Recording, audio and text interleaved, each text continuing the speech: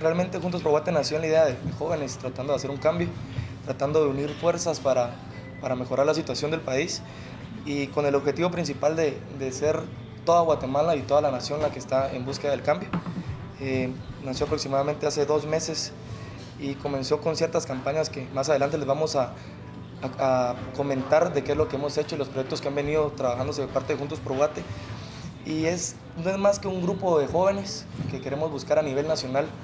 llegar a todos esos jóvenes que no tienen información acerca de lo que está pasando en su país, que no tienen información de la situación actual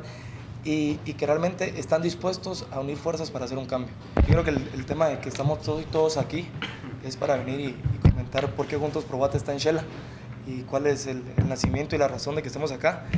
Y antes de eso quería ya presentarles oficialmente a, al equipo con el que vamos a estar trabajando aquí en Quetzaltenango. Tenemos a Julio Fuentes, que será el director de Juntos Pro Guate en Quetzaltenango, a Juan Carlos Morales, Perico, más conocido acá, que será el subdirector del, del movimiento, Roberto Dávila, que será el tesorero.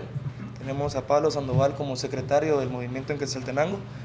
Alejandra Joachín como la vocal del movimiento y a Walter Alvío como el encargado de comunicación del movimiento en Quetzaltenango. Nosotros realmente estamos muy motivados en Quetzaltenango. Gracias de verdad a los medios por estar acompañándonos porque es una parte importante en donde los jóvenes estamos formando ya prácticamente las bases para un cambio en el país. Nosotros sabemos que Juntos por Guate es un movimiento en donde podemos tener mucha proyección social y donde hoy oficialmente nos estamos comprometiendo nosotros como equipo en Quetzaltenango uno, para hacerlo crecer acá y poder tener mucha ayuda social. Y dos, comprometernos con el equipo de compañeros y amigos en Guatemala para que podamos realmente caminar con el proyecto. Estamos contentos porque Quetzaltenango es el primer departamento que se suma oficial y formalmente a Juntos por Guatemala. Sabemos que hay muchas cosas que se tienen que hacer, sabemos que hay mucho que hacer aquí en el municipio, mucha ayuda social que podemos proyectarnos en el departamento y que si nosotros los jóvenes nos unimos,